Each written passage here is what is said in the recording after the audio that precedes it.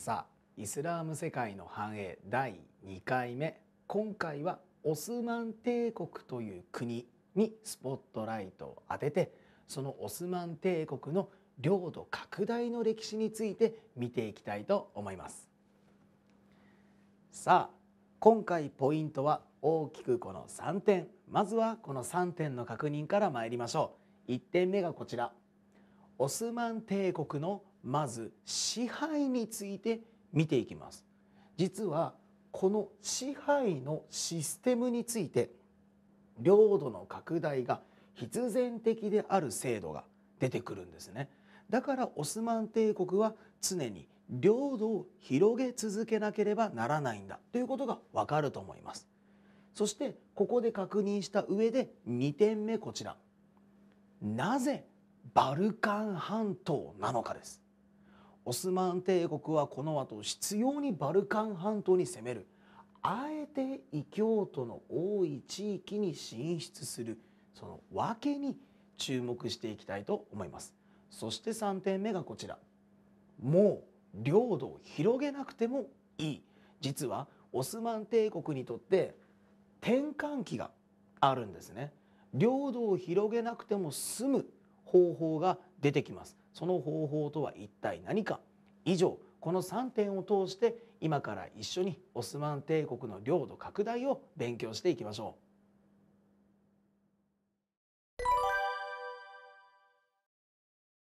さあポイントのまず1点目です。オスマン帝国支配の特徴について今から一緒に見ていきましょう。まずいきなりなんですけれどもティマール制という言葉が出てきましたね。このティマール制すごく大事なんです。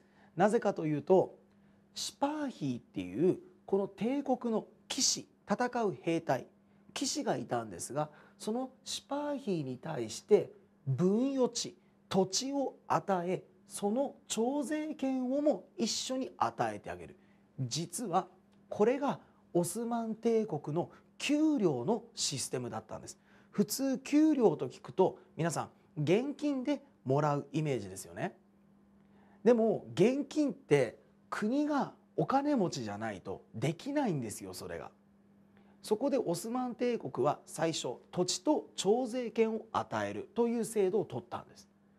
なのでなのでなのでこのシパーヒおよび官僚たちを養っていくためには常に土地を与えて徴税権を与えなければいけない。新人1年目の官僚が10年目を迎えてねだいぶ仕事ができるようになった。帝国のためにもっと働いてほしい。給料アップしてあげよう。給料アップイコール土地の拡大なんです。わかりますよね？なのでオスマン帝国は自らの国を維持するためには領土を広げ続けなければならないということ。さらに領土を広げていく過程においてオスマン帝国は優秀な人材であれば宗教関係なく選んでいきます。こちらキリスト教徒の男子を無理やりイスラムに改宗させます。で無理やりといっても彼ら泣きながら変わるんじゃなくてノリノリで変わってくれます。だってイスラムにさえなれば教育を受けて高級官僚や軍人になれる。しかも給料は高いんです。広い土地もらえて徴税権までもらえますんで。別に苦じゃないですよね。中にはあなんだ高い給料もらえるんだったらじゃあそれでいいやって言って変わる人もいるかもしれない。なのでキリスト教徒の中に優秀な人がいれば積極的に採用する。ということなんです。そして最後こちらを見てください。イエニチェリ。このイエニチェリというのは先ほどキリスト教徒の男子を改宗させて軍人にするって言いましたね。その軍人です。皇帝直属の歩兵軍団。しかも彼らは給料が高くやる気に満ちている。だからめちゃくちゃ強いんです。皇帝のために戦い続ければどんどん給料たくさんもらえるんです。その給料というのは土地なんです。だから結局オスマン帝国というのは土地を広げ続けなければならないんだ。まずこれを頭に入れてください。ではこの後オスマン帝国の領土拡大について見ていきましょう。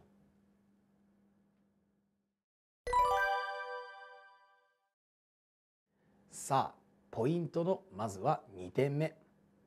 オスマン帝国という国が領土を広げていかなければならない。ここを確認した後になぜオスマン帝国はバルカン半島に行くのか？そちらを説明していきたいと思います。さあ皆さんまずオスマン帝国の建国者オスマン一世そのままですね。オスマン一世が建てたからオスマン帝国と言うんです。場所はアナトリアの西部。アナトリアは小アジアとも言ったりします。現在のトルコがあるところ。このアナトリア西部で自立。最初はちっちゃなちっちゃな国でした。まずそのオスマン帝国建国の話から見ていきましょう。では皆さん地図をご覧ください。さあまずなんですけれども最初はアナトリアの西部。この辺ですね。本当にちっちゃなちっちゃな国からスタートしました。そしてここから領土を広げていくんですけれども領土としてはこっちに行くかこっちに行くかこっちに行くかの3方向ですよね。そうですよね。オスマン帝国は積極的にバルカン半島に向かっていくんです。なのでこっからこうやってブオーってバルカン半島に進出していくんです。なぜバルカン半島なのかっていうのを今から見ていきましょう。さあオスマン帝国にとって一番都合がいいのはイスラム教徒でない地域なんです。なんでか分かりますか？まずイスラム教徒の領土に攻めに行く時兵士をどうやって説得すればいいんですかね？同じイスラムの国を攻めに行こうぜっていうんですか？それはちょっと兵士隊からすると説得力ないですよね。なんだお前何言ってるんだと思われるじゃないですか。異教徒の土地に行くぞ。まずこれで大義名分が出来上がります。そして異教徒の地を攻めてお前きイスラム教になれよ。嫌です。って言われたらじゃあジズヤを払え。あのイスラム教徒が非イスラームから取る税金のことです。ジズヤを課すこともできるんです。どうですか？領土を広げてかつジズヤによる税金の回収も可能。バルカン半島は美味しいところなんです。なのでこのバルカン半島に積極的に進んでいくというわけ。それではまずこちらをご覧ください。さあまずムラト一世。ムラト一世の時にはバルカン半島のアドリアノープルという町を奪いそこをエディルネと名前を変える。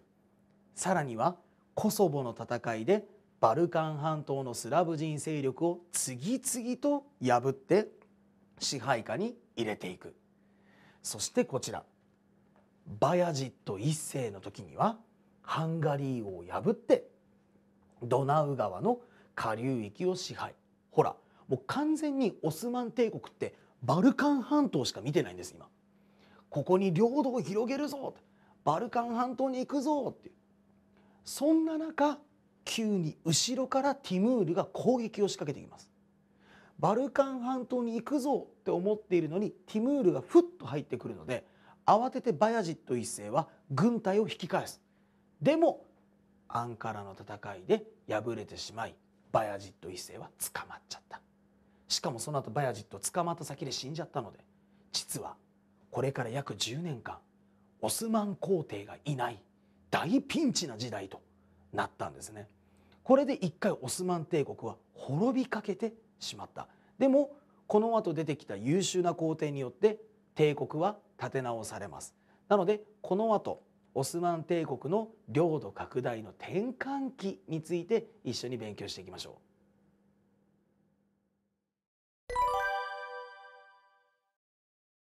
さあポイントの3点目です。オスマン帝国にとって重要な転換期。領土をもう拡大しなくていい。一体これはどういう意味なのか。今から3人の皇帝を紹介していきます。そしてその3人の皇帝の時に一体どうなっていくのかです。どこを征服しオスマン帝国がどうなっていくのかに注目していただければと思います。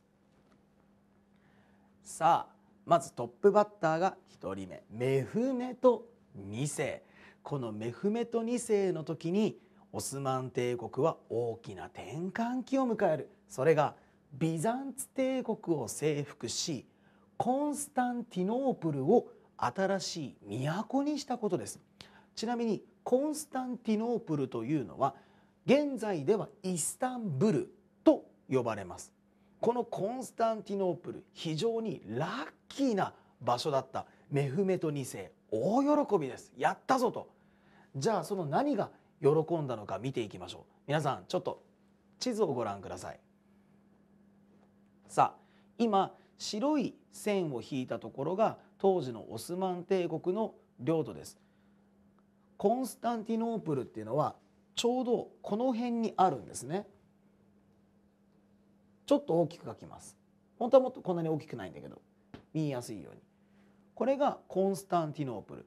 コンスタンティノープルっていうのはこの海を通ってここ方面そしてヨーロッパ方面西アジア方面につながるそう一大貿易センター都市なんです。つまりこのコンスタンティノープルは東西交易の要衝お金が驚くぐらい集まってくる場所なんです。もう気づきました？そう。オスマン帝国はこのコンスタンティノープルを中心とした交易活動を整備できればもう領土を広げなくてもいいんです。なのでオスマン帝国はこの後徐々に徐々に交易中心の国家へとシフトしていくわけです。さあこれがまずメフメト2世のお話です。でさらに皆さんこちらを見てください。2番目セリム1世。このセリム1世の時にはマムルーク朝を征服しメッカ・メディナの支配権を獲得。俺がイスラーム教スンナ派のリーダーなんだという形で確立。でもねこれにもちゃんと意味があるんです。リーダーになりたかったから。違いますちゃんと意味があるんです。マムルーク朝の位置を確認しましょう。さあ地図をご覧ください。ほら見てください。マムルーク朝ってここ。地中海の南側のところ。ね。ほらこのピこのルート交易ルートを通るにあたってこいつ邪魔ですよね。だからセリム一世の時にはこのマムルーク朝を征服。さらにはメッカ・メディナの支配権もここで獲得する。なのでオスマン帝国の領土はさらにこの辺りにまでも拡大したわけですよ。いいですね。そうすればこの交易ルートが接続できるじゃないですか。これがセリム一世です。うまいですよね。だから完全に商業ルートの獲得にシフトしているということなんです。そして3番目がこちら。スレイマン一世。ちなみにこのスレイマン一世の時にはハンガリーを征服し第一次ウィーン包囲といって神聖ローマ帝国の皇帝カール5世と衝突。だからまだバルカン方面への進出はやめたわけではなかったんです。とりあえず引き続き進出してハンガリーを征服そして神聖ローマとここで衝突した。ところが突然の寒冷化により寒くなっちゃったんで20日余りで撤退。このウィーン包囲はなんと負けてしまったんですね。負けてしまっても大丈夫です。領土を広げなくても大丈夫です。商業権を整備できればオスマン帝国は問題ありません。というわけでこちらを見てください。さあプレベザの海戦。これでヨーロッパのスペインベネツィアなどの連合艦隊を破り地中海地域における政界権をゲットしたんです。これでオスマン帝国は完全な商業国家になったわけ。なので領土を広げなくても交易でお金がわんさかわんさか集まってくる。そのお金を使って官僚や軍人を養うことができる。これ以上の領土拡大はいらないんです。そして最後彼の統治を反映する象徴として最後こちらを見てください。スレイマンモスクですこのスレイマン・モスクといって彼の時代には現在のイスタンブールにも残されている大きな大きな礼拝堂が作られたというわけですなのでメフメト2世セリム1世スレイマン1世この3人を通して領土拡大から商業国家への移行が行われたということをしっかりと覚えておきましょう。